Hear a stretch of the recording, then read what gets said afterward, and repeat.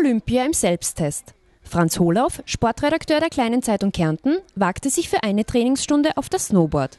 Ja, gewisse Anspannung ist natürlich vorhanden. Äh, ich bin jetzt, glaube ich, schon gefühltes Jahrzehnt nicht mehr auf dem Snowboard gestanden. Ich bin eigentlich äh, eher wieder bei den, beim, beim, beim Ski Alpin zu Hause. Es wird sicherlich äh, sehr spannend werden. Ich habe einen sehr, sehr guten Trainer mit. Äh, natürlich auch eine Konditionsfrage werden, weil äh, zu der ist es nicht zum Besten bestellt.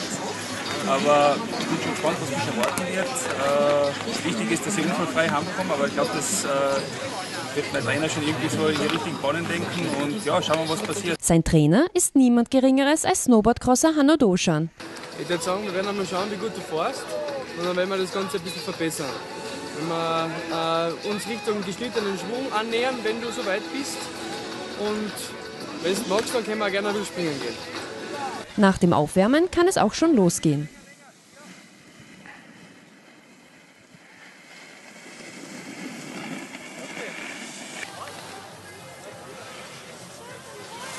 Und die Bilanz nach einer Stunde Training? Er kommt überall runter, das ist einmal sicher.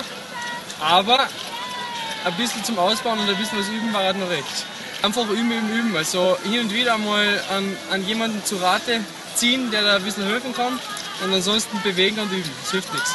Ein bisschen abgekämpft, ein bisschen müde. Es war sehr anstrengend, aber das habe ich erwartet. Äh, konditionelle Probleme sind am Anfang schon ein bisschen zutage gekommen, aber ich glaube, ich habe das ganz gut hingebracht. Das war sehr, sehr lustig, sehr lehrreich. Guten Trainer gehabt, der mir gleich von Anfang an gesagt hat, was nicht passt. Äh, darauf habe ich dann aufbauen können. Der Start war ein bisschen holprig, bin ich sehr, sehr viel im Schnee äh, um und gelegen, aber ich habe gekämpft, habe mein Bestes gegeben und äh, ja, es war sehr lehrreich. Die Stunde war wirklich lustig, anspruchsvoll, aber es hat Appetit gemacht äh, für mehr. Also ich werde sicherlich das eine oder andere Mal heuer noch einmal in der Saison äh, Snowboard fahren. Ja.